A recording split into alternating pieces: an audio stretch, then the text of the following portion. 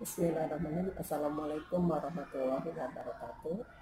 Alhamdulillah saya panjatkan puji syukur kepada Allah Subhanahu wa taala atas berkat dan karunia-Nya bahwa saya memiliki cucu yang bernama Muhammad Anan Putra Pratama PSD Ida Hikmah banyak sekali perkembangan di dalam pendidikan cucu saya sehingga dalam hal ini banyak peningkatan-peningkatan terutama di dalam peningkatan karakternya dan juga banyak pengalaman-pengalaman yang diberikan oleh para pengajar atau para pendidik yang ada di SD Hikmah.